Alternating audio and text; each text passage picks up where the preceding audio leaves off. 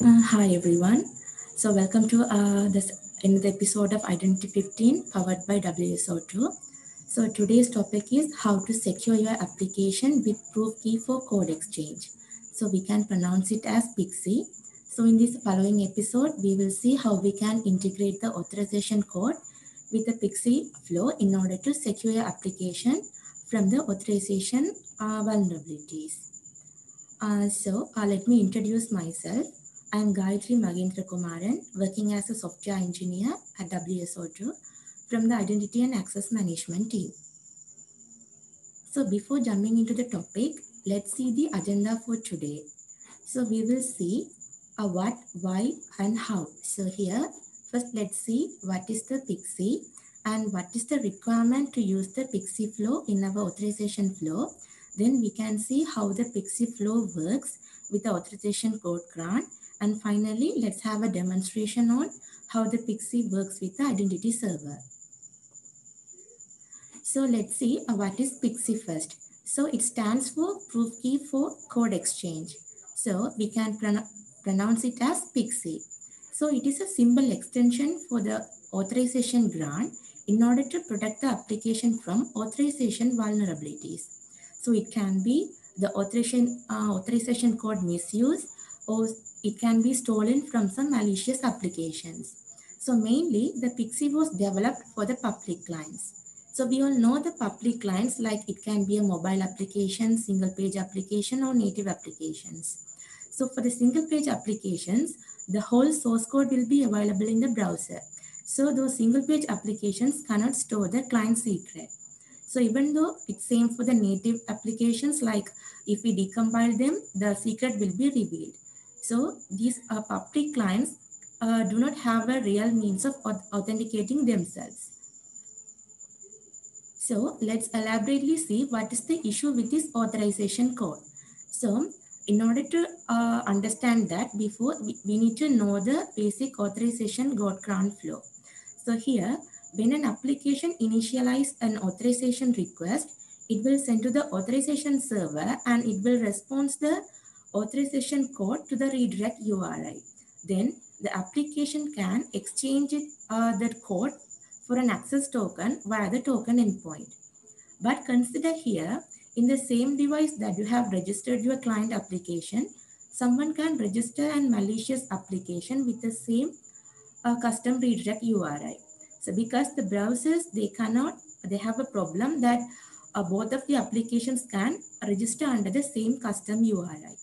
So in this scenario, when your client application initializes the authorization request, it will send to the authorization server.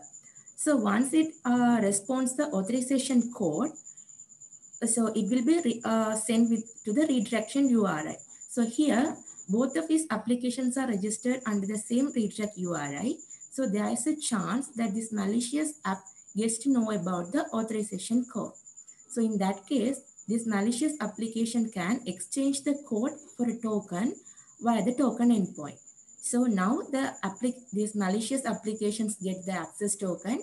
Now it can access the protected resources. It may be some private documents or images.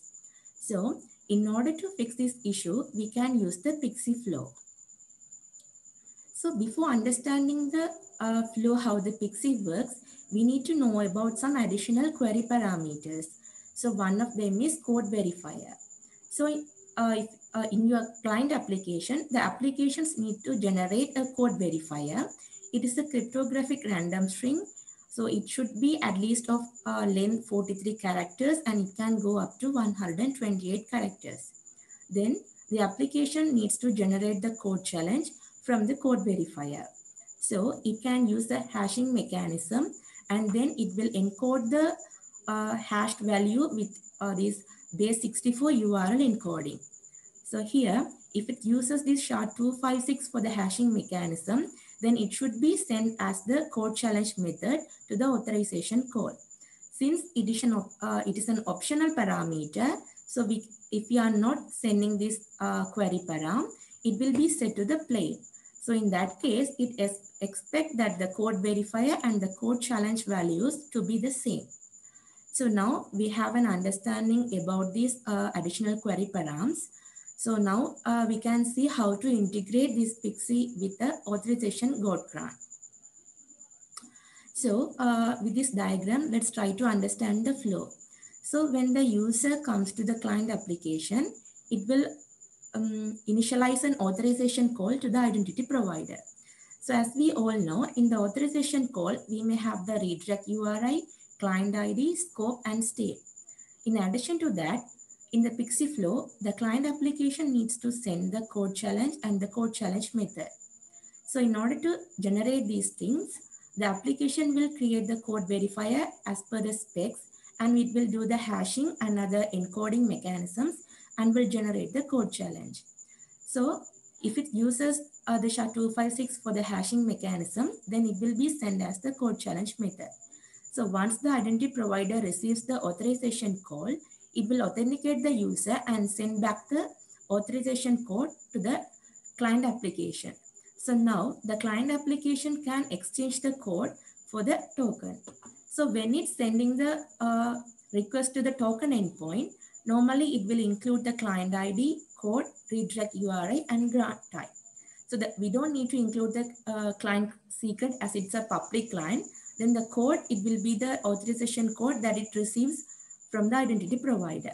So in addition to this, it will send the code verifier. So when the request comes to the identity provider, it will try to uh, validate the authorization code and additionally, it will validate the code verifier. So the identity provider will try to regenerate the code challenge based on the, the uh, code challenge method that it sent and the code verifier it has. So once the uh, generated code challenge and the already sent code challenge values are similar, then it will sends the access token back to the application. So now the application successfully uh, gets authenticated.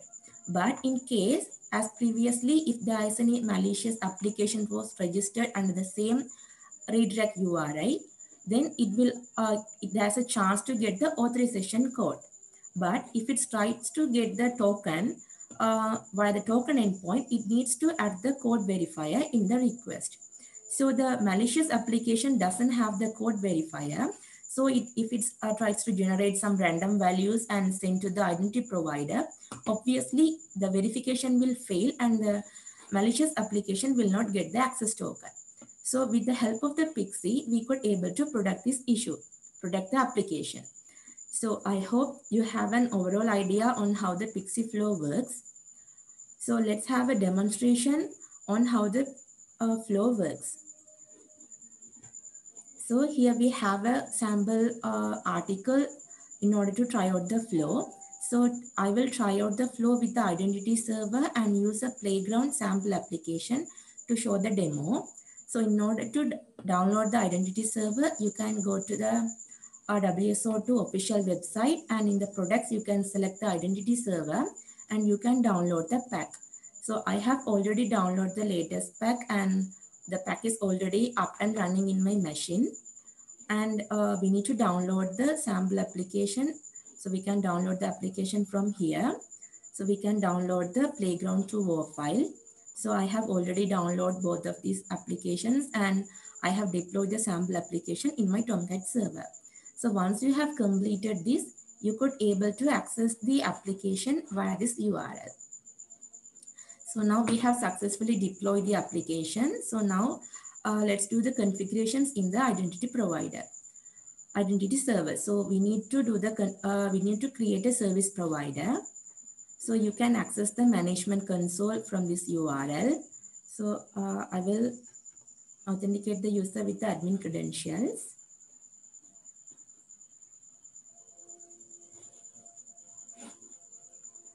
So once we log into the management console, we need to create a service provider.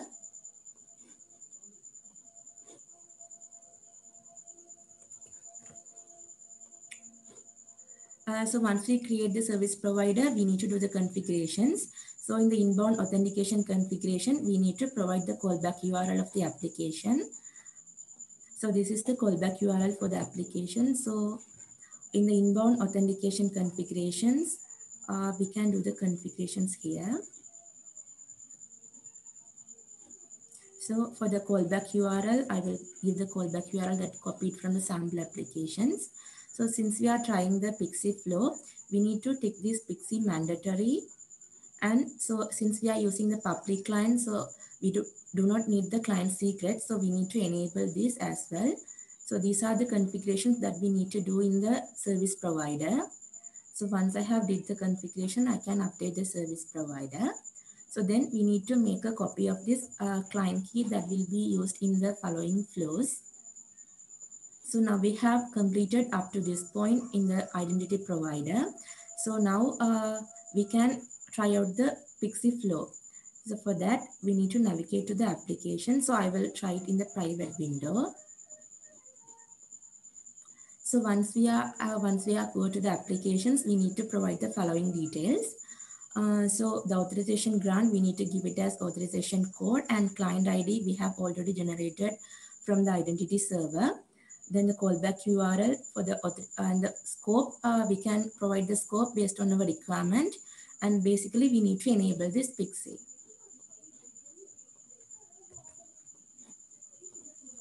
So here uh, we have two options for the code challenge method. One is S256, other one is the plain. So when we select the plain, we can see that the both code challenge and the code verifier will have the same value. So in this flow, I will use with the S256 hashing mechanism. So once we have given the details, we can send the authorization code. So once we send the authorization code, we will redirect to this page. Here we can give the credentials and do the authentication.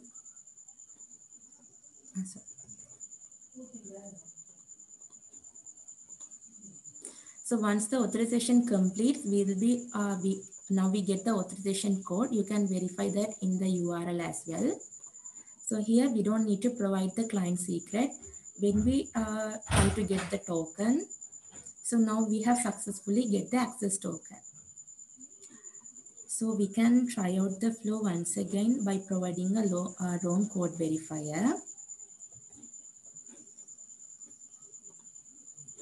So here, if uh, some other malicious applications get the authorization code, then it uh, it should need the so this uh, application should need the uh, code verifier.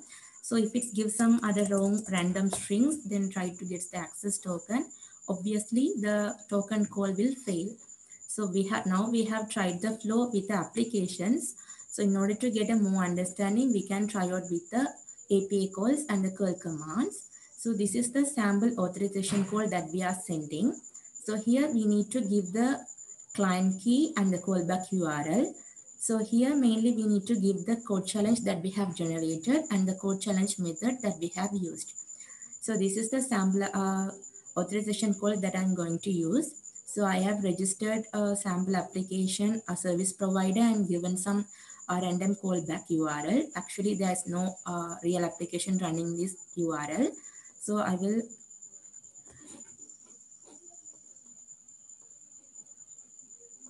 mm, provide this URL.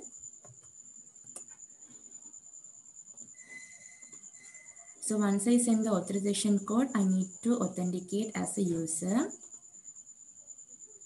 So once the author authentication completes, uh, we will get an authorization code uh, to this particular uh, redirect URL.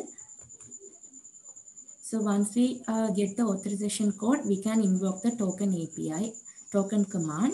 Uh, so here I have a sample token curl command. So here we need to provide the authorization code. And, and also we need to pass the code verifier that we have already generated. So if we are trying with the curl command, so uh, uh, we can use this link. So we can give the code verifier and try to generate the code challenge. So you can use this in order to generate your own code challenge. Mm. So here I have a sample uh, token curl command. So I will give the authorization code.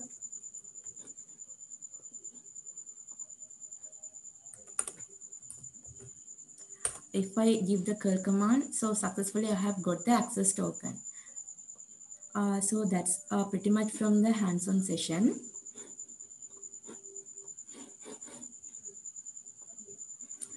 Uh, so I hope you have got an idea how the Pixie Flow works uh, with the authorization code and uh, protect the uh, public clients. So now if you have any questions, you can raise them in the live chat.